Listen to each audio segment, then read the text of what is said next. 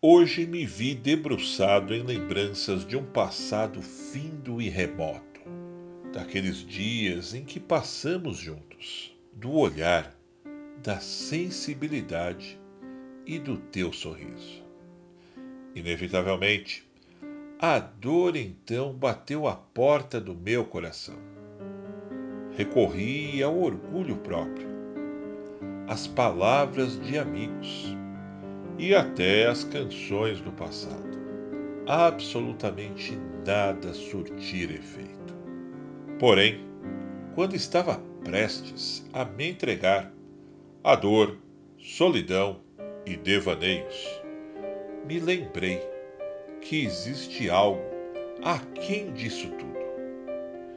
E até do amor, que cito aqui em inigualável idolatria. Esse então sou eu, que levanto todos os dias, respiro e encaro a vida. Tenho infinita amabilidade de outras pessoas que também convivem ao meu redor. Então me perguntei: por que sofrer? Por que me ferir e me aprisionar a tal pensamento?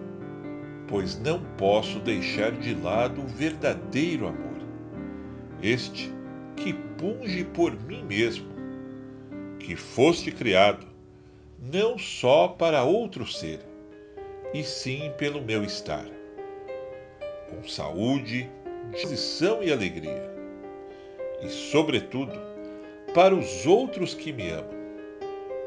E com sua devida licença, irei viver e, acima de tudo, me amar.